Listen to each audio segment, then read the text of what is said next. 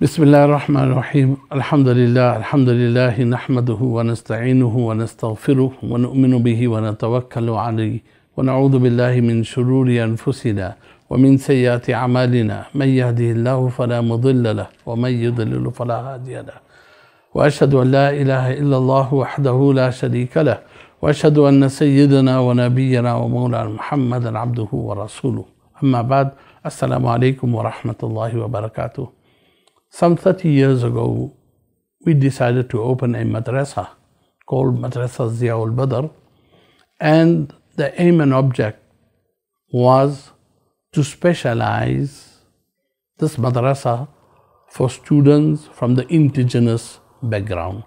Alhamdulillah, over the 30 years, many of our students have completed Hafiz al Quran, many of them have gone further in studying Alimiyat, and they've gone even further to go to university and study for higher degrees.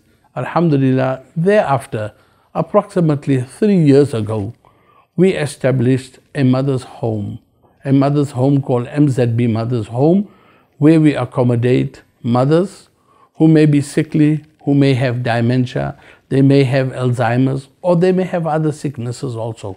Alhamdulillah, we have in our mother's home at present 13 mothers, and the capacity in our mother's home is 13.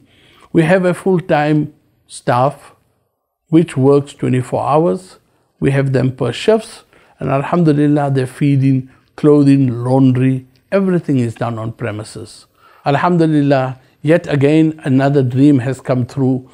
We have opened the MZB Father's Home. We will be able to accommodate 10 fathers and we will have a fully fledged staff 24 hours caring for the fathers. We do have another dream also, and that is a retirement village, which will be, inshallah, Aziz, a retirement village adjacent to the MZB Father's Home in Jeppestown. We're looking at accommodating approximately 25 to 30 couples or mothers or fathers who would like to live independently and would want to live alone by themselves and do whatever they need to do also. We are in a process of thinking of it. That is another dream. And inshallah, we beg you and we plead to Allah subhanahu wa ta'ala that Allah subhanahu wa ta'ala, out of His infinite mercy, with His blessings, fulfill that dream of ours also, inshallah, Aziz. Assalamu alaikum wa rahmatullahi wa barakatuh.